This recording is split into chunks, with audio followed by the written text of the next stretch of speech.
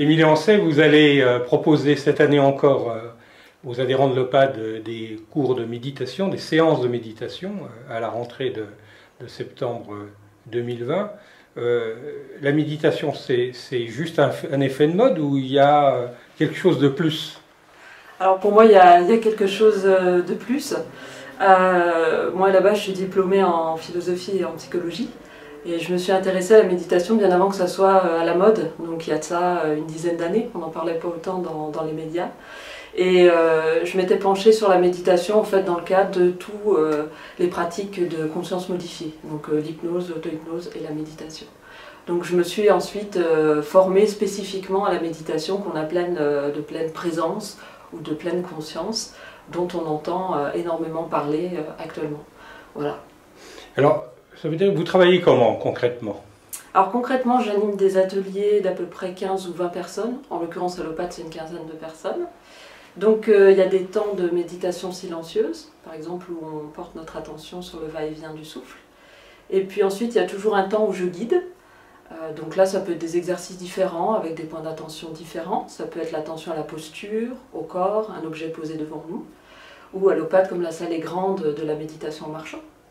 Et puis il y a toujours un temps d'échange puisque c'est un atelier, donc euh, j'aime bien que ce soit euh, interactif, donc que chacun puisse euh, bah, poser ses questions et puis que je puisse aussi avoir le retour du groupe, savoir qu'est-ce qui est compris, comment ils mettent ça en place dans leur vie quotidienne, parce que c'est quand même l'idée de se l'approprier pour la vie quotidienne. Il y a de plus en plus de travaux scientifiques qui montrent les bienfaits de la méditation pour le cerveau et pour la santé. Oui, tout à fait. Alors, euh, il y a beaucoup de bienfaits euh, d'abord sur la, psychologie, avec la réduction euh, du stress, la réduction de l'anxiété.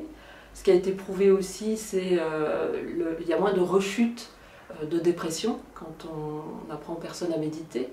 Alors, en plus de la psychothérapie et des médicaments, hein, bien sûr, ça, ça n'enlève pas la nécessité du traitement médicamenteux. Et puis j'ai pu aussi euh, l'expérimenter et les travaux scientifiques vont dans ce sens-là, euh, tout ce qui est euh, prise en charge de la douleur.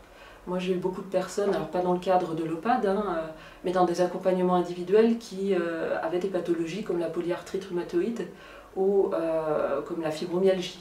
Voilà, donc là aussi, en concertation avec l'équipe médicale, mais on peut améliorer le vécu, on va dire, de, de la douleur. Au-delà de vos séances hebdomadaires, quels conseils vous donnez pour une pratique quotidienne? Alors je donne des conseils pour euh, la pratique formelle, c'est-à-dire euh, comment on pratique au quotidien, comment on peut euh, refaire les exercices qu'on voit en cours. C'est pour ça que je fais des petits ateliers avec des exercices relativement faciles à retenir pour que tout le monde puisse se l'approprier. Et puis après, la méditation, c'est aussi un art de vivre. Donc j'essaie de faire comprendre aux personnes comment on peut vraiment euh, vivre la méditation dans les relations aux autres, dans le rapport au monde.